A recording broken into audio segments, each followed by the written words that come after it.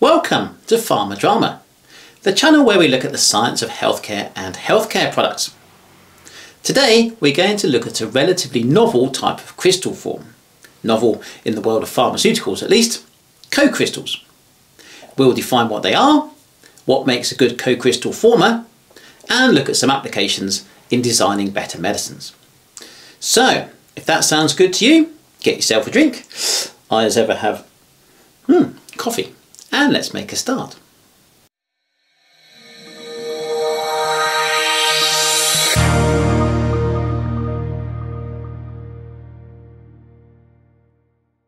I've said this before, but I'll start by saying it again. Crystalline materials are those where all the molecules they contain are arranged in highly ordered repeating patterns. To be able to define these patterns, we use the concept of a unit cell. A unit cell shows us how the molecules in our crystalline material are arranged next to each other. And our macroscopic crystal is built up of countless unit cells extending in three dimensions. If the molecules can arrange in more than one type of pattern, in other words, if there is more than one type of unit cell, we say it is polymorphic, and each form is a polymorph. If there's only one type of compound in the unit cell, the material is a pure polymorph, and if there are two or more types of compound in the unit cell, the material is a pseudopolymorph. Well, those are my definitions, at least. If we represent the molecules in the unit cell with different shapes, then we can represent pseudopolymorphs like this. The dark blue squares represent drug molecules and the light blue circles represent the other compound. In principle, the other component could be anything that co-crystallizes with the drug. But in practice, for pharmaceutical co-crystals at least, it must be a compound that is not toxic. As I have discussed previously, and the link to that video is in the description, systems that contain water as a co-former are called hydrates, and those that contain solvents as a co-former are called solvates. The US Food and Drug Administration, FDA, defines pharmaceutical co-crystals as crystalline materials composed of two or more different molecules, typically active pharmaceutical ingredient, API, and co-crystal former, co-formers, in the same crystal lattice. Now, you might say to me, okay Simon, doesn't that mean that hydrates and solvates should be called co-crystals? After all, that's what the FDA definition says they would be. And I would say, kind of.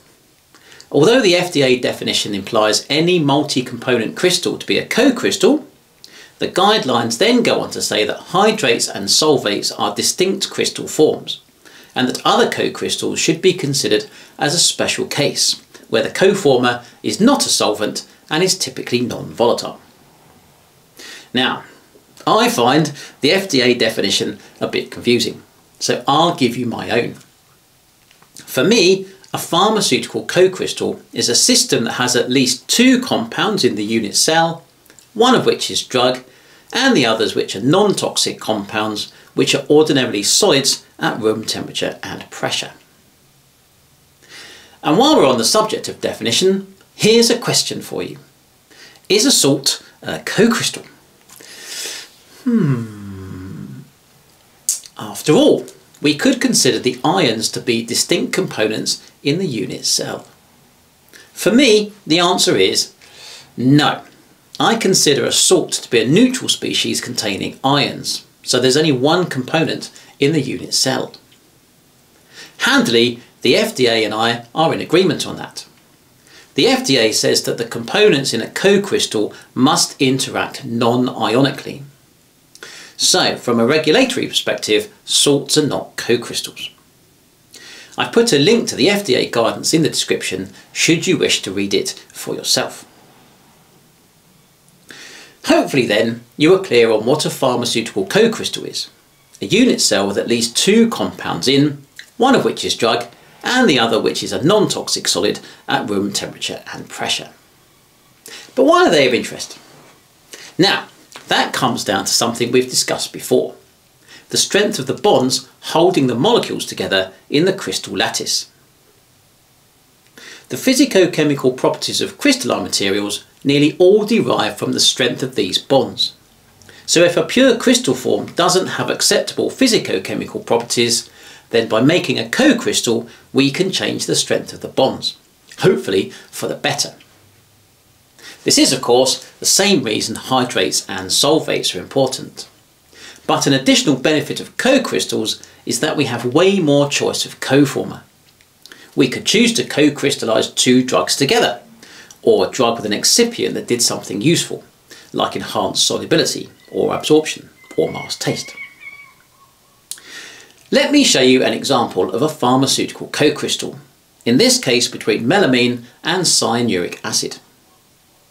These bond together in a one-to-one -one stoichiometry, and I think you might see why they make a great co-crystal. They have a number of electron donor and acceptor functional groups, perfectly in line with each other, so can align because of very strong hydrogen bonding.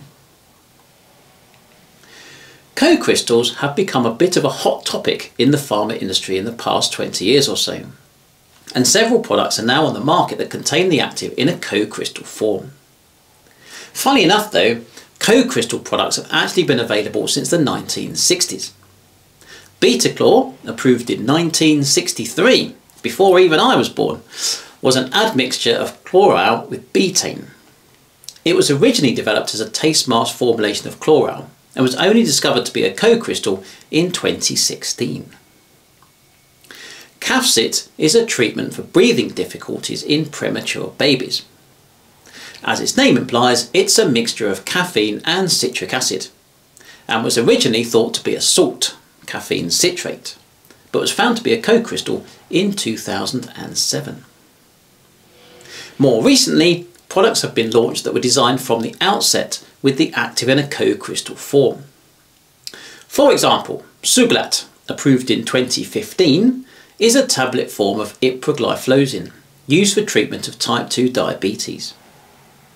On its own, ipragliflozin has a propensity to form a hydrate on exposure to water, which hinders its absorption, but by formulating it as a co-crystal with L-proline, Suglat is stable with respect to humidity. Steglatro, approved in 2017, is a tablet form of ertugliflozin, formulated as a co-crystal with L-pyroglutamic acid.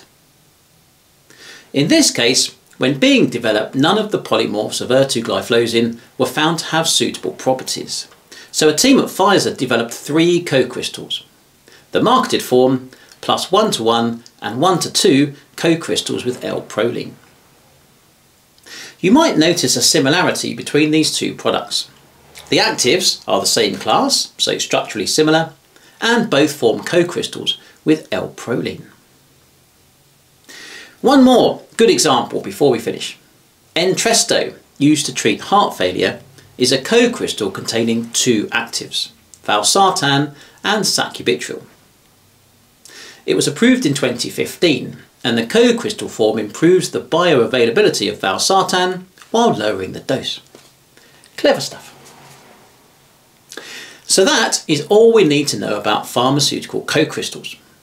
They are crystal forms that contain at least two components in the unit cell, a drug and another compound that is not toxic and is ordinarily a solid at room temperature and pressure.